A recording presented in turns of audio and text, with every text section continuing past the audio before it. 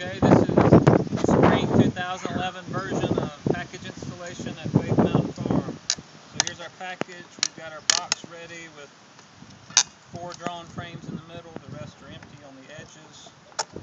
Pop this off. Get our feed out.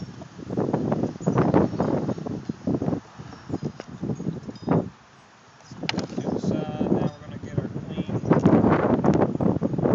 undone. And I like to put a little spacer in here just to give them room to get the queen out. So here's the queen in her cage.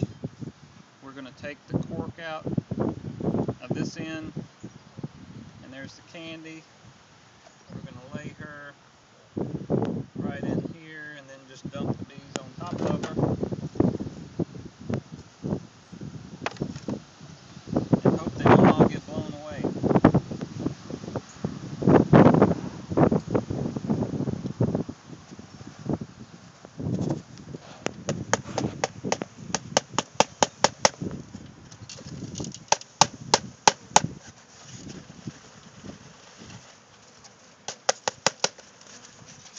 You say we just kind of shake them from one end to the other until we get most of them out, and we'll set this out front. Let any stragglers get in there.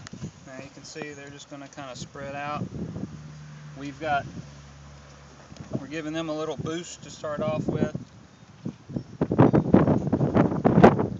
I've got some honey from dead outs, but I've checkerboarded it in the top with empties and food, they should be good to go. We will feed these as the honey flow gets started here. We're pretty close to the honey flow.